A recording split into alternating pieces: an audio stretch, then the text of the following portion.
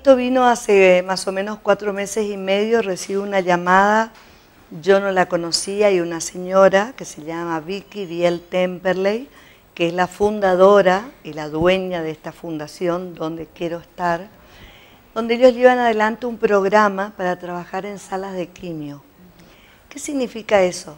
Bueno, ella me, se comunica, alguien le pasó mi teléfono, no nos conocíamos, ella me dice, te voy a enviar todo porque me dijeron que ustedes son voluntarios y que tienen una seriedad, bueno, la trayectoria y todas las cosas, que le digo, sí, es cierto, es cierto que es así, y ella me envía el material y yo me quedo asombrada porque después voy a entrar en el año 28 como voluntario de hospitales, uno siempre cree que hace mucho, pero yo nunca me imaginaba que ya había, que hay gente que ya está haciendo dentro de la misma salud y de los hospitales otras cosas que nosotros nunca, si bien nosotros teníamos acceso a salas de quimio y todo en el hospital, nunca eh, supimos de este programa.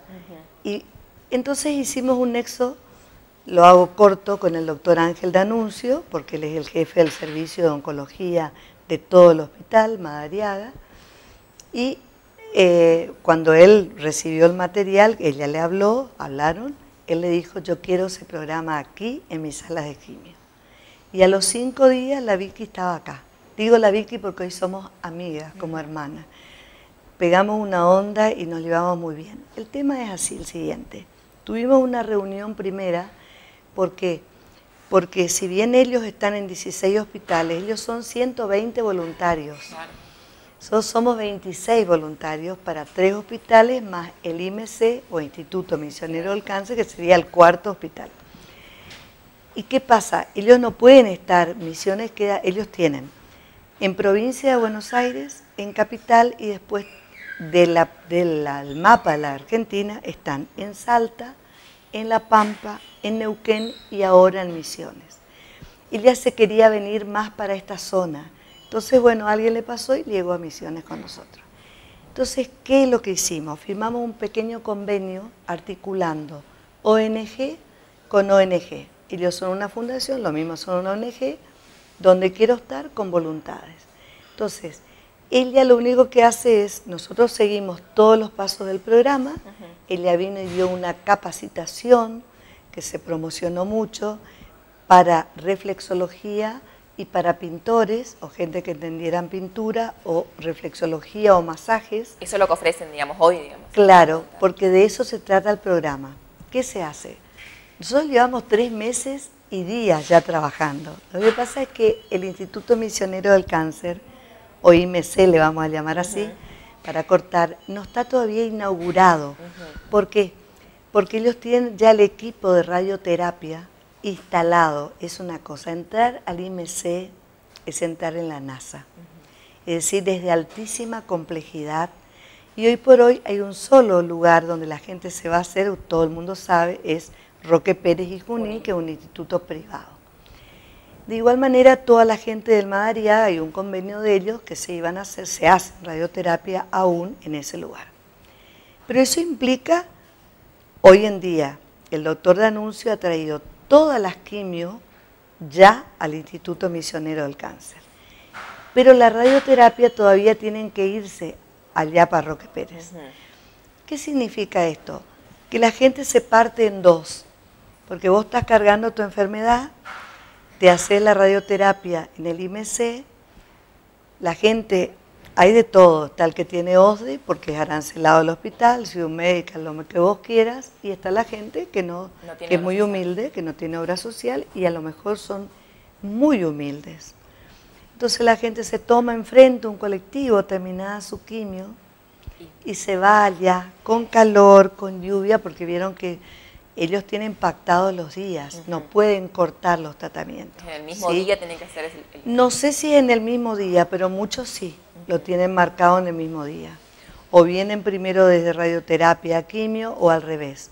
Otros ya no se hacen radioterapia, se hacen solo quimio. Cada uno, de, de acuerdo al cáncer que tenga, es lo que se hace, el tratamiento que le dan los oncólogos.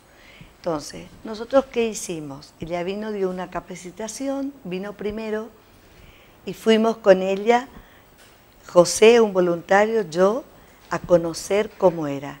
Y entre los tres trabajamos en la sala de quimio ya del IMC, con la presencia del doctor Danuncio, que nos dio la bienvenida, que nos abrió los brazos. Y Voluntades viene a ser la pata directa de donde quiero estar, porque ellos no pueden venir todos los meses, ¿se entiende? Les queda muy lejos. Ellos acá designan una coordinadora o un coordinador, como lo hacen en las otras provincias, y esa persona es la que supervisa todo y al término del mes se le envía una planilla donde se le dice la cantidad con nombre y apellido de pacientes y lo que ellos te preguntan es cómo recibieron lo que nosotros le proponemos. Ahora te paso a contar cómo es. Nosotros entramos, hola, bueno, hoy ya llevamos tres meses, nos conocemos con muchos, pero hay un recambio. Hay gente de los otros días, el ¿La, miércoles... ¿La quimio, te, interrumpo Maya, es de todas las edades o es más que nada quimio eh, pediátrica? No, la quimio pediátrica se hace en el hospital de pediatría. Okay. Y ellos tienen su sala de quimioterapia. Más para adultos. Y esta sería para adultos, ¿sí?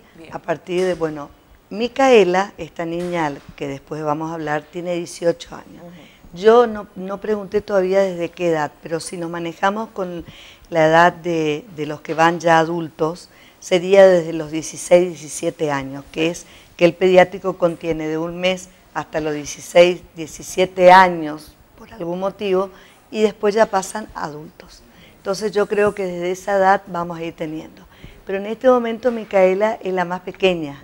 Micaela tiene 18 años. 18 años, se llama Micaela Domínguez. ¿Y qué hacemos? Llegamos, ya están algunos sentados pasándose su quimio por vía. Para el que no sabe, yo también me enteré muchos años después que era voluntaria.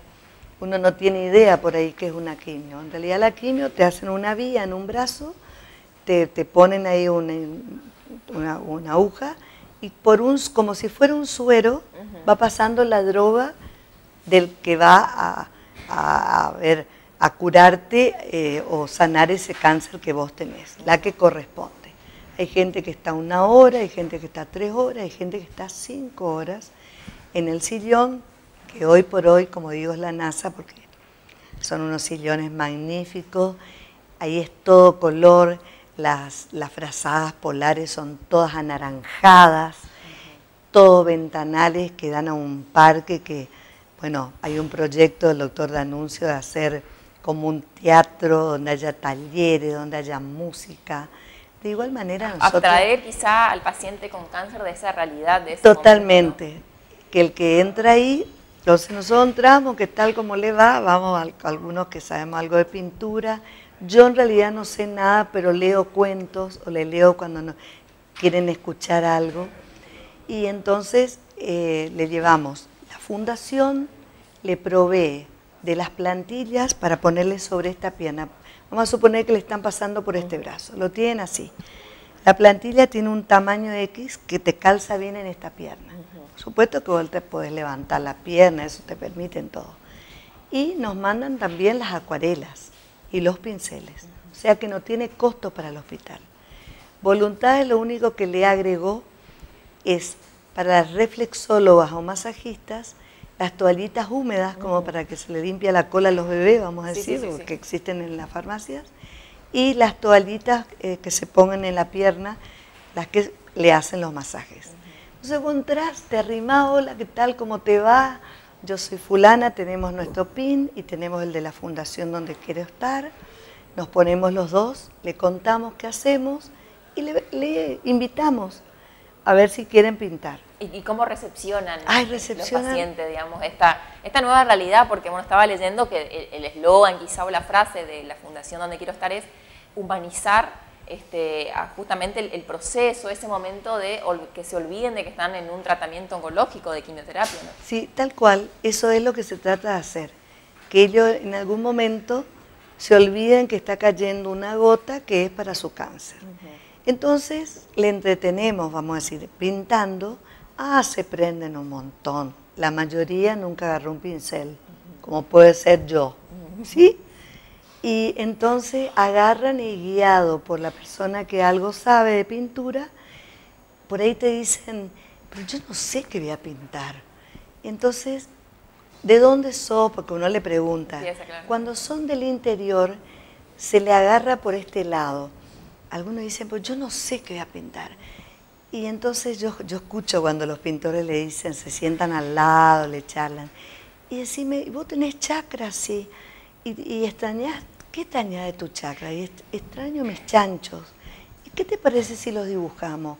Y mi vaca lechera, y mi casa. Y bueno, y ahí comienza. Carlos también a su, a su, a su lugar, a de dónde provienen. Y entonces ahí recuerdan todo.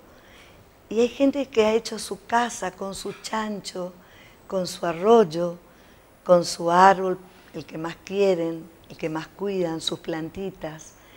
Y hay otros que son más religiosos y dicen quiero, quiero pintar la cara de Cristo, entonces nosotros tenemos libros, le armamos ya la biblioteca para el IMC, con donaciones que nos dio la Biblioteca Popular de Posadas, a quien agradecemos. Tenemos libros de todo tipo y al que no quiere, y después le preguntamos, ¿quiere un masajito en los pies? Y dice, tengo el pie sucio, no importa, acá le limpiamos todo. Entonces dice, bueno, voy a querer. Entonces terminan de pintar, se duermen y se entregan. Todos tienen, la fundación nos ha mandado indicaciones, porque después de la primera vez que vino la señora Vicky, ella vino a dar una capacitación para reflexólogos y pintores, que son los dos más importantes profesionales que se necesitan. Diríamos, serían los más importantes para la primera etapa. Después, nosotros podemos maquillarle. El otro día cinco mujeres nos pidieron que querían estar pintadas. Entonces Vicky va a venir a dar una capacitación de cosmetología en mujeres con cáncer.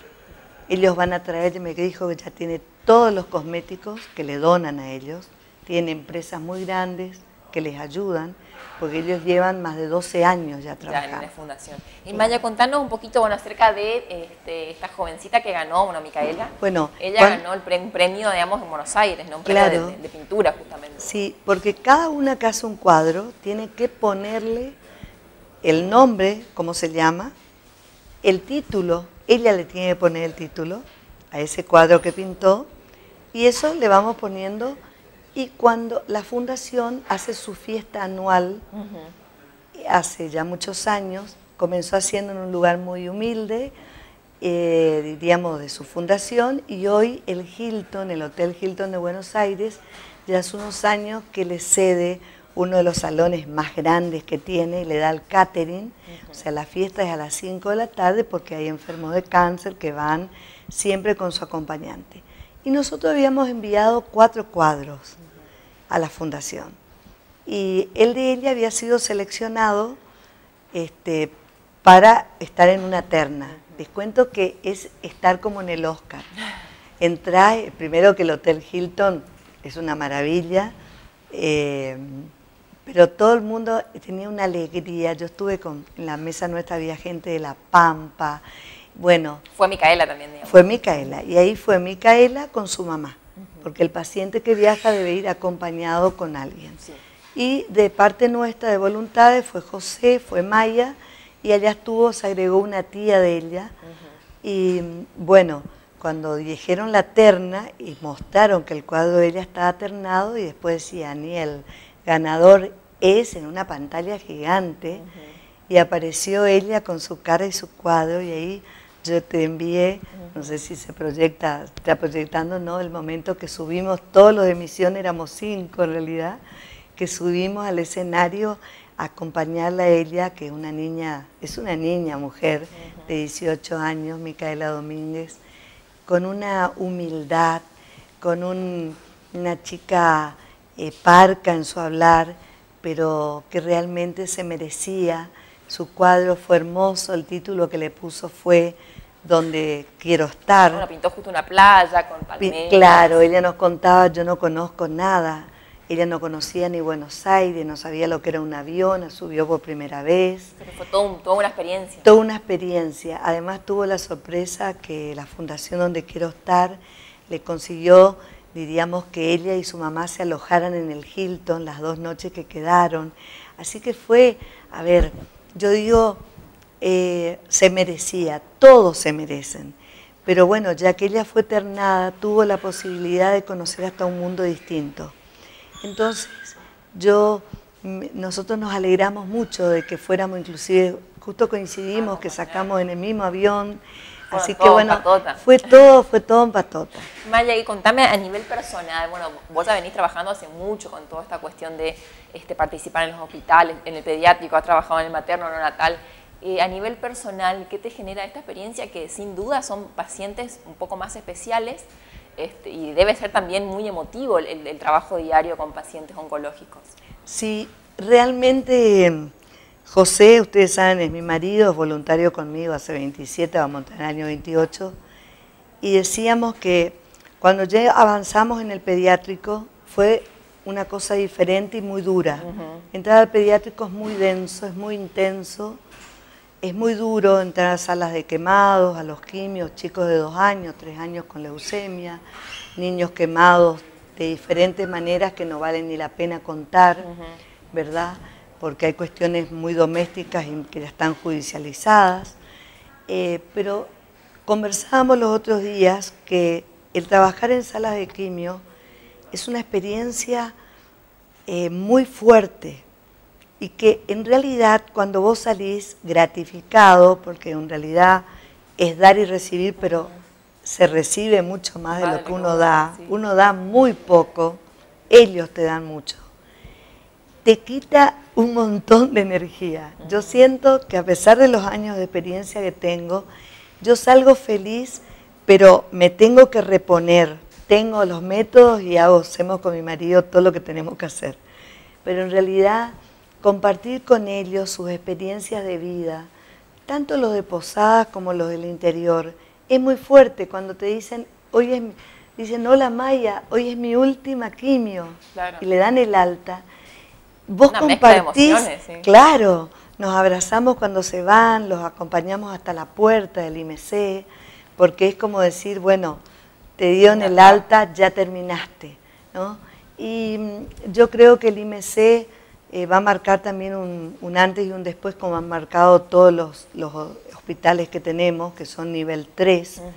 Yo digo que uno puede coincidir o no en ideas políticas, pero los que trabajamos en la salud, tener hoy en Posadas, en la provincia de Misiones, cuatro, pues yo al IMC lo tomo como un hospital más, eh, de nivel 3, que es el de más alta complejidad, hay acá en, esta zona del litoral ninguno. Y a nivel país creo que está el de Calafate, que lo había hecho Kirchner, y hay otro más en otra provincia argentina. Después no hay hay solamente en Buenos Aires algunos de los grandes conocidos.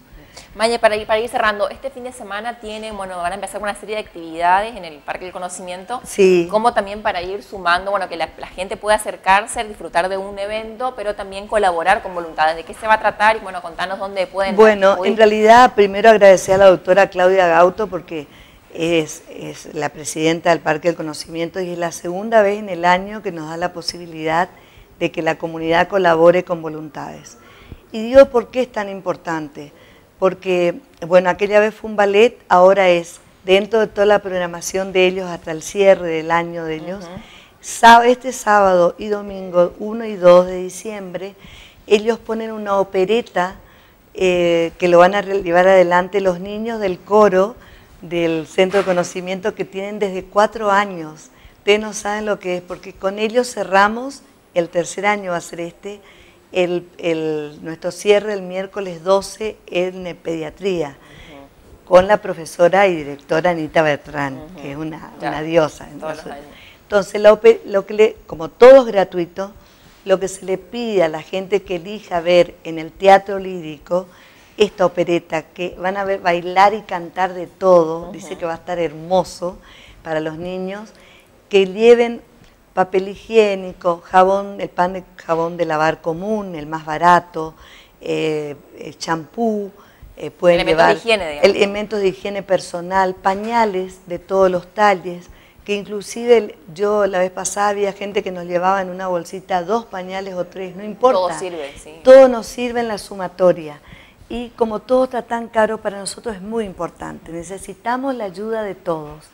Así que bueno, eh, los esperamos este fin de semana. ¿A, qué, hora, ¿A qué hora arrancaría? Digamos? Eh, arranca a las 8 de la noche. Nosotros vamos a estar desde las 7 menos cuarto con nuestras remeras de voluntades, recibiendo a toda la gente y acompañándolos para que suban al teatro lírico. Así que los esperamos con todo el amor porque en esto solamente el amor nos va a salvar. Bueno, gracias Maya por venir y gracias por el trabajo que haces que es magnífico. No, gracias a ustedes por, por también querer saber un poco más de, de, algo que por ahí uno dice en los hospitales es puro dolor. No, en los hospitales también hay alegría.